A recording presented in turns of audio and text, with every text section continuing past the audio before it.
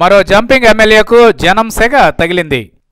అధికార పార్టీ ఎమ్మెల్యేలుగా డాబు దర్పం వెలగబెడుతున్న టీడీపీ నేతలు ప్రత్యేకించి స్వప్రయోజనాల కోసం పార్టీలు మారిపోయిన ఎమ్మెల్యేలకు జనం చుక్కలు చూపుతున్నారు.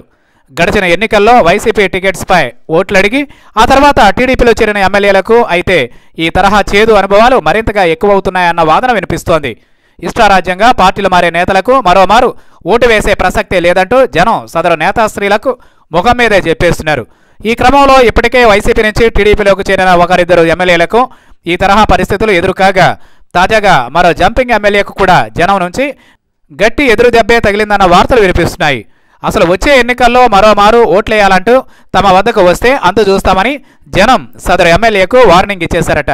వెరసి అందిన కాడికి దండేసుకుందామని టీడీపీలోకి చేరిపోయి అధికార పార్టీ ఎమ్మెల్యేలుగా చక్రం తిప్పేద్దామనుకుంటున్న ఆ జంపింగ్ ఎమ్మెల్యేలకు ముందు నొయ్యి వెనుక గొయ్యి మాదిరిగా పరిస్థితి తయారైందన్న వాదన వినిపిస్తోంది.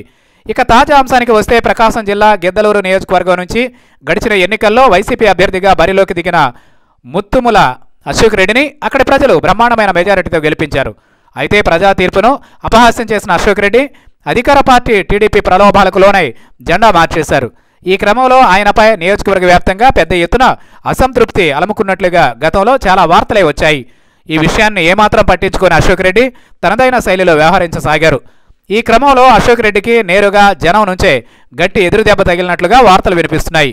స్థానిక ప్రజా సమస్యలను పరిష్కరించే విషయంలో ఒంటెద్దు పోగడలతో ముందుకు సాగుతున్న అశోక్ రెడ్డికి నేరుగానే బుద్ధి చెప్పేందుకు నియోజకవర్గంలోని బొల్లిపల్లి వాసులు నిర్ణయించుకున్నారట. గతంలో తమకు ఇచ్చిన హామీలను ఎందుకు అమలు చేయడం లేదని వారు అశోక్ రెడ్డిని నిలదీశారట.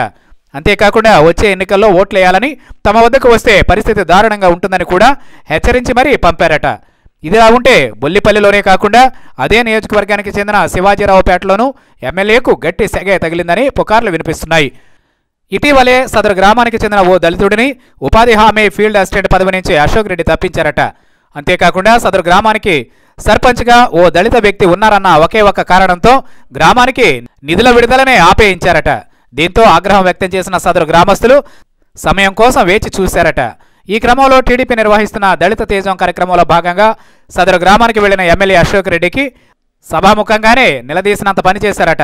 ఇక ముందు కూడా ఇదే తరహా వైఖరితో ముందుకు వెళితే సహించేది లేదని కూడా ఎమ్మెల్యేకు వార్నింగ్ ఇచ్చి మరీ పంపారట. మొత్తంగా పార్టీ మారి అధికార పార్టీ ఎమ్మెల్యేగా దర్పం వెలగబెడదామంటే ఇవేం తిప్పలరా దేవుడా అంటూ అశోక్ రెడ్డి లోపలే మదన పడుతున్నారట.